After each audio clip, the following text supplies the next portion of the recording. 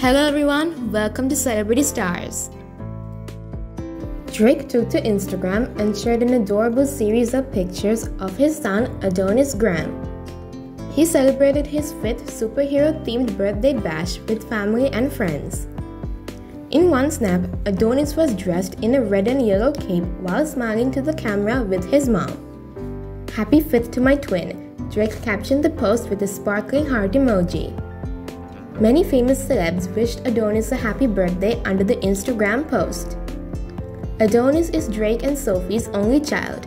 He was born on the 11th of October 2017.